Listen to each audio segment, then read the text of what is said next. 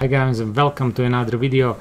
Thank you very much for all your support, uh, emails, comments, uh, messages, uh, greatly appreciated. If you're not subscribed, don't forget to do that. Hit the bell button so you're notified about all the other upcoming videos.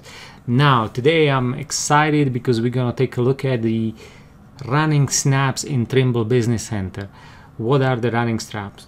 Snaps. They are the active snaps you have turned on so whenever you draw a line it will snap to those uh, elements you have checked. To demonstrate I have drawn uh, two uh, lines and I'm just gonna draw uh, another third one and uh, I'll start it here.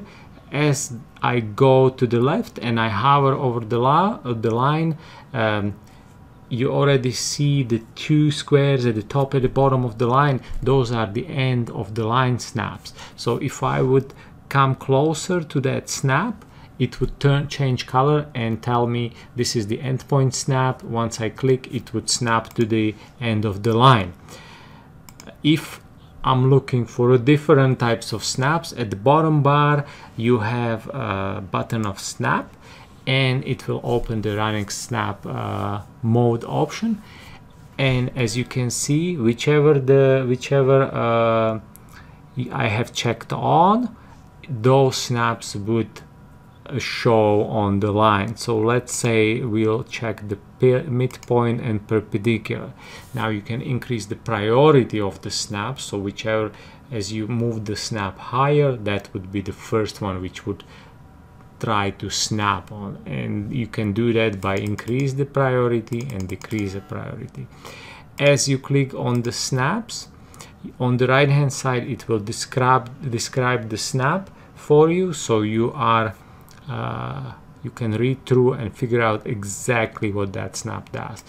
And there is another tab for the ortho snaps and uh, you can turn them on and off if you need to draw nice ortho drawing so I'll just leave the ortho off and I'll start another line here. And as you can see because I checked the midpoint and I checked the perpendicular point those snaps are already showing. The midpoint is the triangle the perpendicular point is perpendicular.